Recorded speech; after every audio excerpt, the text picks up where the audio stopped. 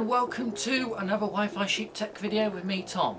Now those of you that follow the channel will know I've been working on a new 8-bit game for the BBC Micro system called Nanogangs. Now this project's been going on for about two or three years now, I've lost count.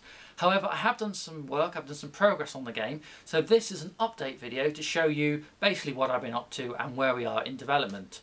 Uh, for today's demonstration we'll be running on an original BBC Micro Model B which is a 32k of RAM machine and we'll be running off reused 5 and a quarter inch floppy disk. So enjoy.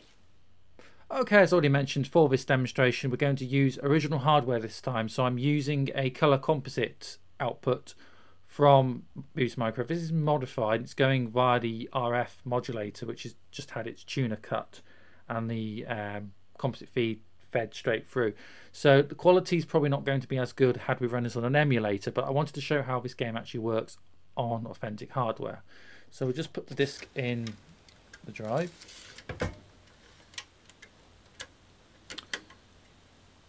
And now we'll do a shift break to load up.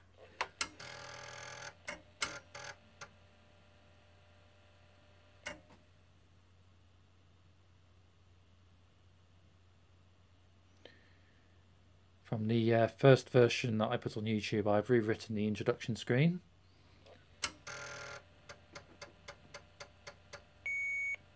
This is my uh, brand, Ident Computer. The logo has now changed, so this needs to be updated.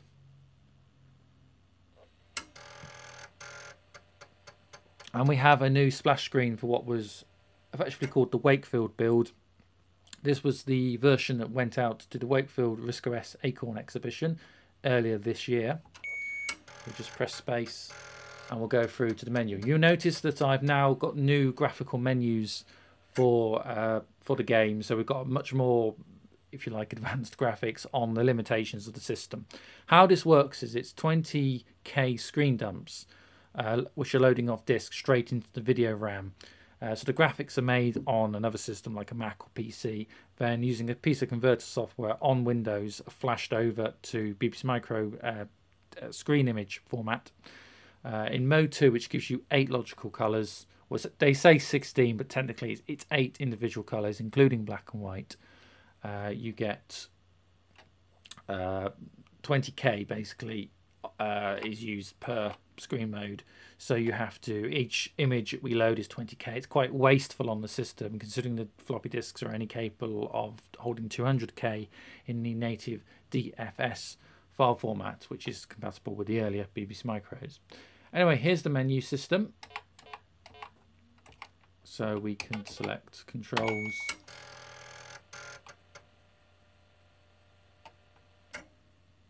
Pretty self-explanatory.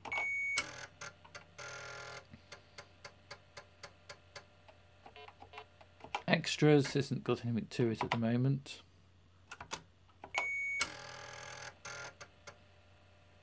Yeah, work in progress, check back soon.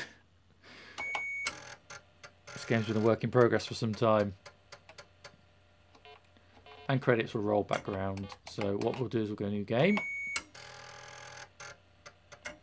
You can tell how it's going to load data off the drive uh, because we've only got 32k of RAM 20 of that's taken up in video RAM or screen RAM. So realistically, it's about 8K available per, if you like, screen. So we have to shuffle in data, shuffle out data, shuffle in data. I know some people can do things in machine code or 6502 assembly language to get around this. I'm writing this in BBC Basic. So what you're seeing is running entirely in BBC Basic, which is notorious for being very, very slow. Um, but as a reason for that, it's because this game has an education element, and also I want to be able to easily port it to newer systems like RISC-OS on the Raspberry Pi. RISC-OS also uses a modern version of BBC Basic built in, so it'd be nice to get this game ported over once we're done running it on the 8-bit system. Hence why I don't really want to opt into using 6502 if I can help it. So again, a reminder, everything you're going to see is written entirely in BBC Basic. So we've got the character screen. Uh, we can create a new character. Uh, should we do that? Yeah, why not? So we use an empty slot. Name, I think it was Bob last time. We'll go this time. Uh, Dave. Dave Banana Gang. Shell colour. Uh, ooh. What did I do last time? Uh, let's say two. I'm, I'm in a sort of green mood. So we'll say two for green. Face, um, five. Is that okay? Yes, we'll say yes, that's fine.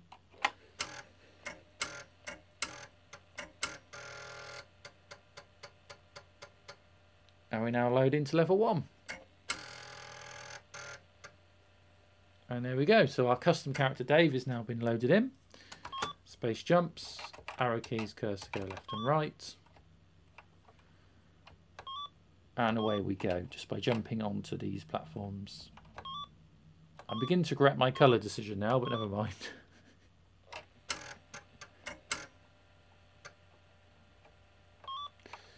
So you've got icons uh, such as hearts to give you an extra life you can pick up. Um, I have got a little secret Easter egg built in, which I'm not finished yet. But if we head down here, picking up some interference from somewhere. Uh, this is sort of a secret Cloudland type level where you'll be able to pick up bonuses and extra lives and things by jump, hopping onto the cloud platforms. I've been playing an awful lot of um, Nintendo, sort of like Super Mario and um, Kirby's Adventure and things like that on the NES Classic Edition. So uh, it's quite influenced my uh, my own coding. And then for this one, we just drop down back out the sky and we'll drop back down. There we go. So we can pick up the heart, no problem. Moving on.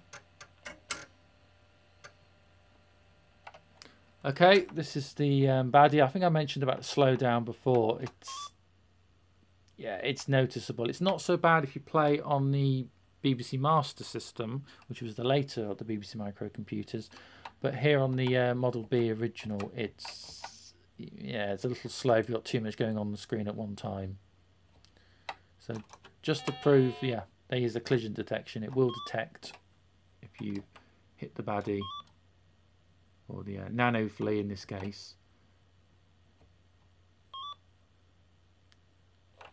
And on we go. So we have another Nanogang to rescue. So we pick them up. And then we head to the finish gate. Okay, I can't remember if level 2 was in the last demo of this. I don't think it was. So uh, so this is the sort of half of level 2. So I've introduced a new brick texture. Again, if you sort of miss, plunge into water, lose a life, resets, try again.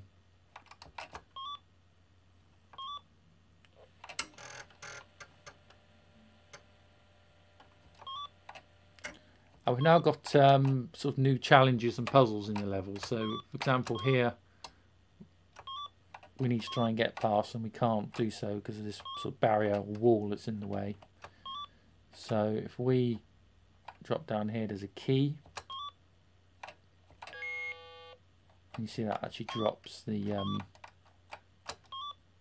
gate, if you like. And then we can actually jump back over.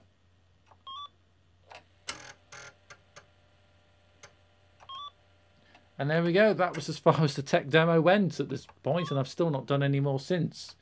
So it was just a case of making your way to the flag or the finish gate. And the game then just goes into reset mode.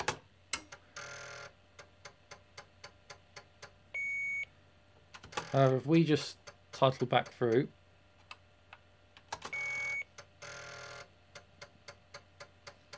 I'll just show if we ask for another new game, you'll notice it's actually saved Dave. So that nanogang we created has been saved to disk.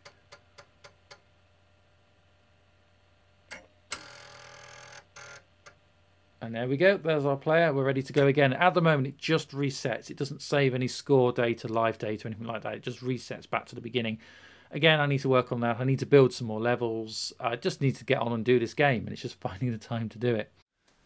So there we go, that was the latest build of NanoGangs for the BBC Micro. Thanks so much for watching this video, hope you've really enjoyed it. Don't forget to like and subscribe to us right here on Wi-Fi Sheep, and I'll see you real soon. Bye for now.